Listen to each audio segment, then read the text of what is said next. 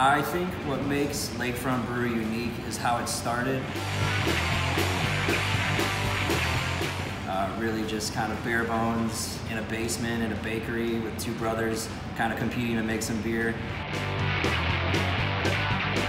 It's obviously grown since then in our new space that we moved in back in the 90s, but it still feels like it's a family business.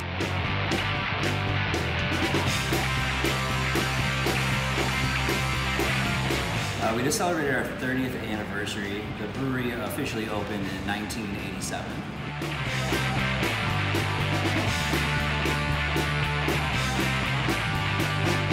Be the two best sellers for us is our Amber Lager, which is the Riverwest Stein.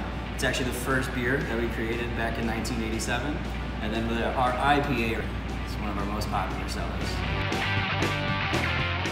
Uh, we really appreciate the business with Festival Foods. We've been in a partnership going on more than five years and uh, really pushing hard in the last couple of years getting our beers to the northern part of the state.